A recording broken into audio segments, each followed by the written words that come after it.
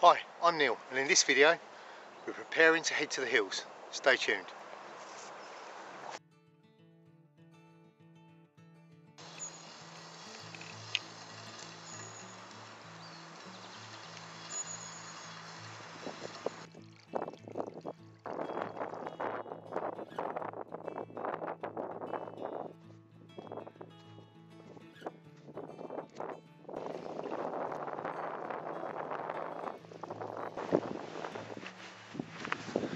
Hills and mountains of the UK, beautiful places to be.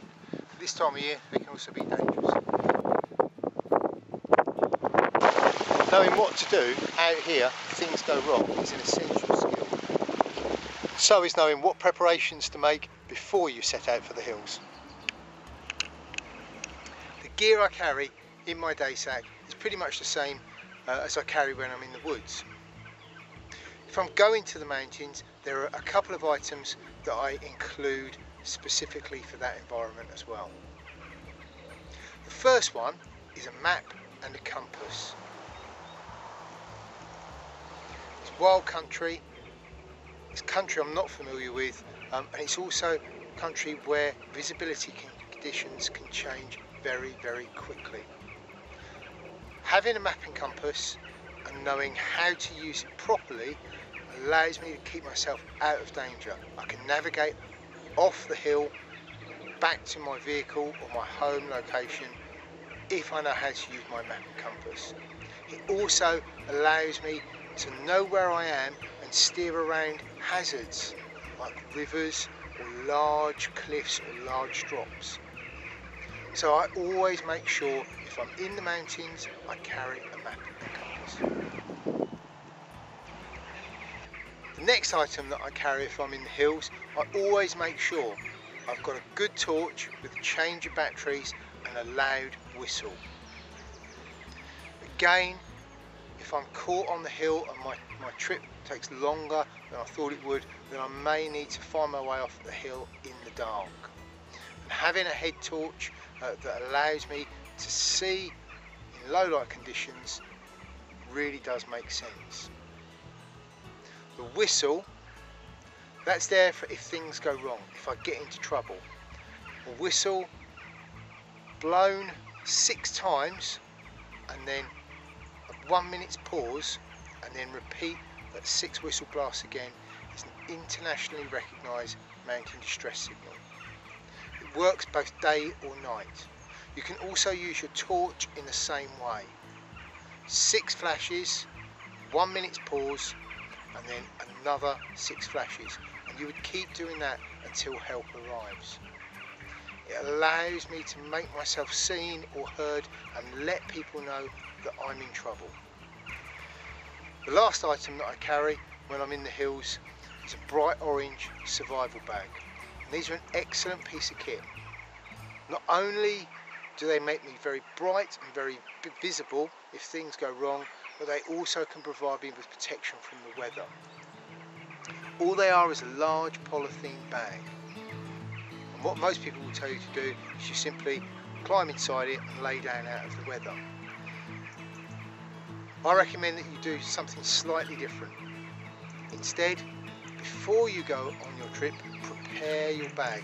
And the reason I say that is that it's very difficult um, to do anything to your bag when it's blowing a gale uh, and there's snow and hail and sleet and all sorts of weather coming at you. So this is something you prepare before you leave. all you do is you lay the bag out on the ground, find the open end and find the sealed end. And at the sealed end, one hand span from the top seam, so that distance to that distance, mark a small line on the bag. And then where that line is, mark a line parallel with the top of the bag that again is a hand span across. Then all you do is cut along that line. So you should have a line that's about that long cut into the base of your bag. And all you then do is fold it up, put it away in your rucksack, hopefully never have to use it. But if you do, your bag is prepared and ready to go. And your last bit of preparation that you can do before you actually leave for the hills is let somebody responsible know where you're going, and exactly where you're going, when you're coming back, and what to do if you don't come back. Who they need to call, what they need to do to alert the emergency services so they can come and find you. And with all of that done, and your items packed away in your rucksack, you can go off to the hills, safe in the knowledge that if it goes wrong, you've got a safety procedure in place. So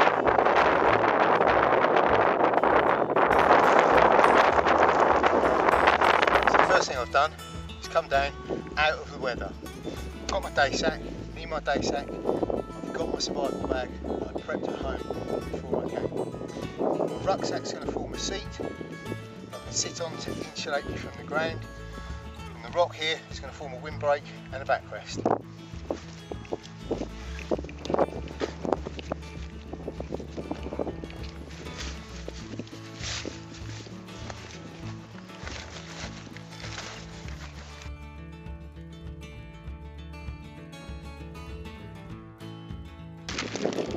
There I am, protected from the weather. If I need to, I can stand up, jump around to get myself warm.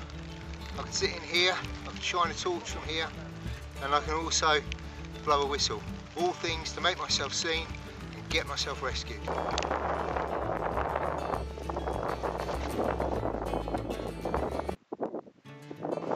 I hope you enjoyed this video. I hope you found it informative. If you do decide to go and visit the, the hills and mountains of the United Kingdom do. They're really, really beautiful and it's something everyone should do. But remember, follow the guide, take the precautions that we've said. If you enjoyed the video, please subscribe to our channel. And until next time, stay safe.